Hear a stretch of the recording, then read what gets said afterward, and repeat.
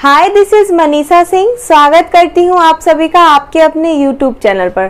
Friends आशा करती हूँ आप सभी बहुत अच्छे होंगे और आपकी परीक्षा की तैयारी भी वेल इनफ बहुत अच्छे वे में चल रही होगी। तो हाजिर हूँ आप सभी के बीच एक और गवर्नमेंट जॉब की अपडेट को लेकर जो कि डायरेक्ट निकल के आ रही है हरियाणा पुलिस की तरफ़ से। एम ए पी कांस्टेबल की वैकेंसी 2024 के रिगार्डिंग फ्रेंड्स ये जो वैकेंसी कंडक्ट कराई जाती है ना एच के थ्रू कराई जाती है, हरियाणा स्टाफ सिलेक्शन कमीशन अब एम ए पी कांस्टेबल क्या होता है? माउंटेड आर्म्ड पुलिस को बोलते हैं एम ए पी जो घुड़सवार सशस्त्र पुलिस होता है, उसके लिए कांस्टेबल की वैकेंसी आई है। इसके लिए अप्लाई करने की जो तिथि है, एक अप्रैल से एक मई है। ऑनलाइन हो रहा है फॉर्म जितना जल्दी हो सके अप्लाई कर देना।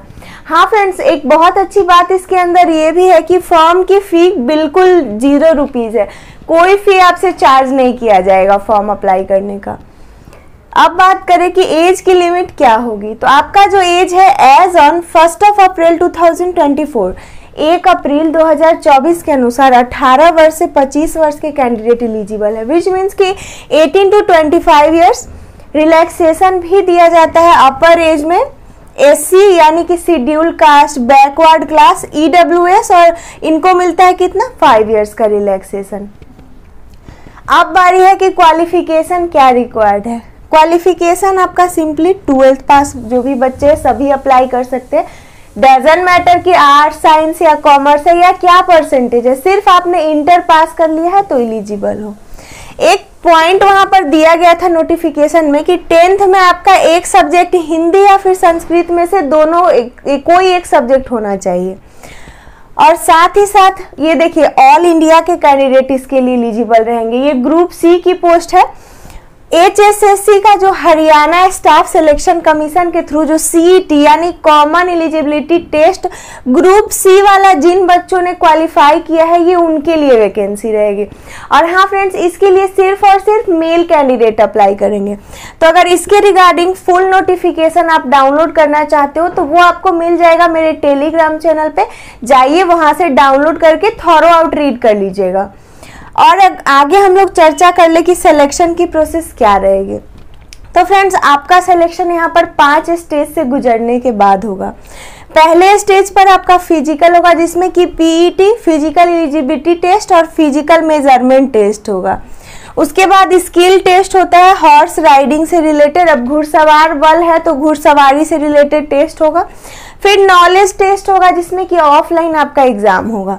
उसके बाद डीवी यानी डॉक्यूमेंट वेरिफिकेशन फिर मेडिकल कराया जाएगा, उसके बाद ज्वाइनिंग लेटर दे दी जाएगी। तो आगे हम लोग सिलेक्शन प्रोसेस को अच्छे से डिटेल में समझेंगे, लेकिन उससे पहले कैटेगरी वाइज सीट और टोटल सीट क्या है मैं बता दू आपको।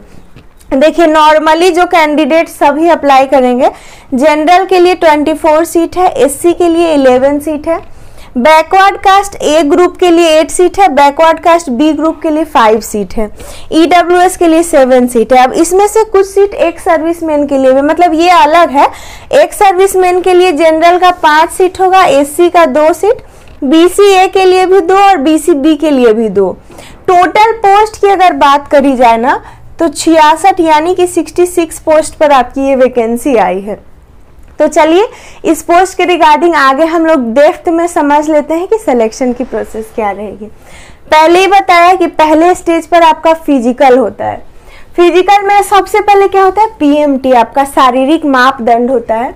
हाइट जो होता है जनरल कैंडिडेट के लिए क्या रहेगा? 170 सेंटीमीटर रिज़र्व कैटेगरी के लिए 168 सेंटीमीटर रहेगा।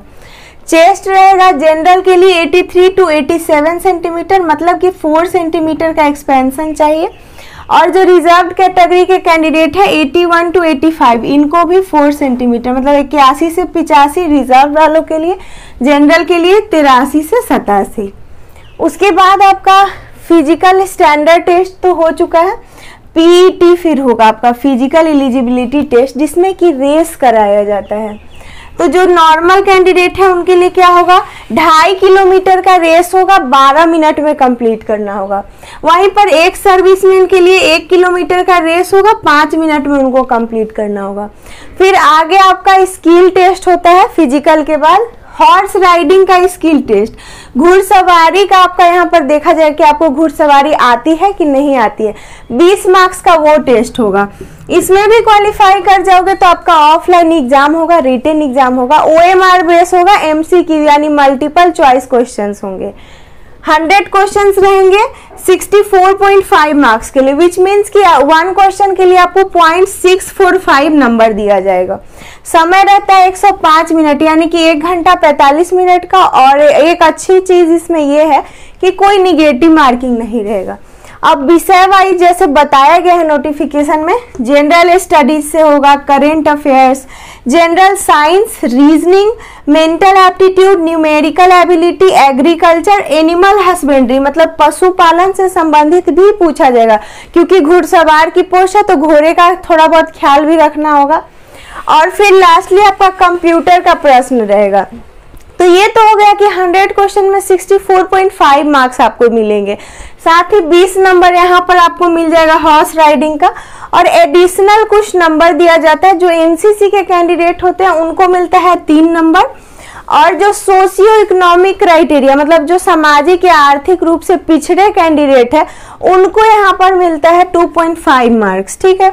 तो ये एग्ज़ाम आप क्वालिफाई करते हो, तब जाके आपका क्या होता है, यहाँ पर मेरिट लिस्ट में नाम आता है, उसके बाद आपको ज्वाइनिंग लेटर भेजी जाती है। एग्ज़ाम आपको हरियाणा के ही डिफरेंट डिफरेंट डिस्ट्रिक्ट्स में होगा तो ऑल इंडिया के कैंडिडेट का हरियाणा में ही एग्ज़ाम कराया जाएगा। और उसके बाद जब आपका सिलेक्शन वगैरह होगा तो हरियाणा में सर्व करोगे। सैलरी क्या मिलेगी? फ्रेंड्स इसका आपको पता है ग्रुप सी का पोस्ट है तो लेवल थ्री का सैलरी मिलेगा। इक्कीस हज़ार सात सौ से शुरुआत होती है after perks allowances sixty nine thousand one hundred मतलब सत्तर हज़ार के करीब आपकी सैलरी हो जाती है। So this is overall details regarding Haryana MAP constable I hope आप समझ गए होंगे। अब भी कोई डाउट है कंफ्यूजन है तो कमेंट करके आप पूछ सकते हो अपने सवाल। अदरवाइज़ वीडियो अच्छी लगी हो यूजफुल लगी हो तो एक लाइक करना है, अपने दोस्तों के साथ शेयर कर देना है। साथ ही साथ मेरे चैनल को सब्सक्राइब करके नोटिफिकेशन बेल ऑल पे सेट करके जाइए, ताकि सारी नई वीडियो सबसे पहले आप तक पहुँचे। तो मिलूँगे फिर से किसी गवर्नमेंट जॉब की अपडेट के साथ। Till then Stay tuned. Bye bye. Take care.